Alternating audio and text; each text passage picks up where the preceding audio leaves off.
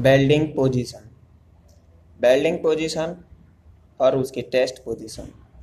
जैसे flat welding को one G welding बोला जाता है ऑरिजेंटल को टू जी वेल्डिंग बोला जाता है, वर्टिकल अपवर्ड वेल्डिंग को थ्री जी वेल्डिंग बोला जाता है, वर्टिकल डाउनवर्ड को थ्री जी वेल्डिंग बोला जाता है, अपवर्ड और डाउनवर्ड दोनों को three G welding. Overhead welding को फोर जी वेल्डिंग बोला जाता है पाइप फिक्सड ऑरिजेंटल जो होते हैं, उसको फाइव जी वेल्डिंग बोलते हैं।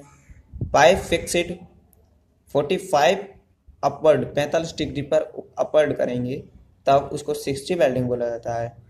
पाइप फिक्सड पैंतालीस डिग्री पर ही डाउनवर्ड करेंगे, तब उसको सिक्स जी वेल्डिंग बोला जाता है।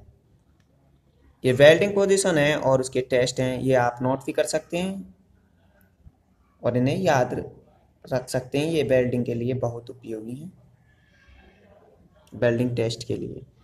और I S O and E N जो नाम होते हैं, यानी कि इंडिकेट करते हैं इन्हें हम, वो बोलते हैं वन जी के लिए हम पी ए से इंडिकेट करते हैं टू जी के लिए पी सी से थ्री जी के लिए पी एफ़ से, और जो थ्री जी है, हमारा downward vertical downward three G को पी जी से ही इंडिकेट करते हैं फोर जी को पी ई से करते हैं फाइव जी को पी ई से करते हैं सिक्स जी को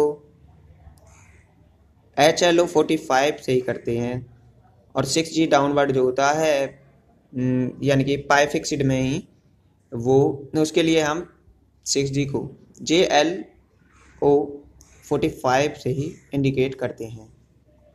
ये हैं वेल्डिंग के position for groove welding A S M E के पोजीशन जो कि एग्ज़ाम में भी पूछे जाते हैं। और इनकी जानकारी हमें एक कुशल बेल्डर बनने के लिए होनी ही चाहिए। ये आप नोट भी कर सकते हैं। ये टेस्ट में भी पूछे जाते हैं।